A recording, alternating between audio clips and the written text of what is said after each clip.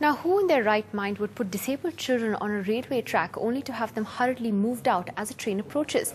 That's exactly what happened in Patna when an NGO made these students protest for publicity.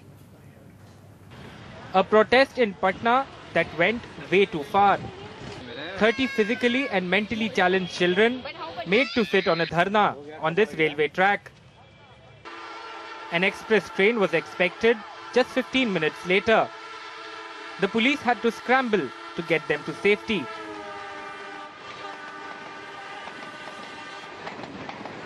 तरीका ठीक नहीं है लोकतंत्र में अपने बात को रखने के लिए सबको आजादी है और अपने सही प्लेटफॉर्म पर अपनी बात को रखना चाहिए The protest was organized by this man, Shivaji Rao, an activist.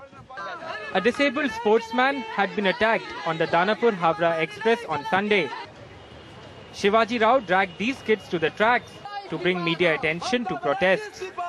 नहीं ऐसा दुर्घटना नहीं होती क्योंकि सब जो प्रशिक्षक है मालूम है मा- बिल्कुल मालूम है उसको क्या करना है To involve children in protests is out of line. To involve special children in protests that they have no way of grasping, perhaps criminal. That it was done by an NGO that professes to work for special kids adds that twist of brutal irony. In Patna, Alok Pandey for NDTV. Tuba.com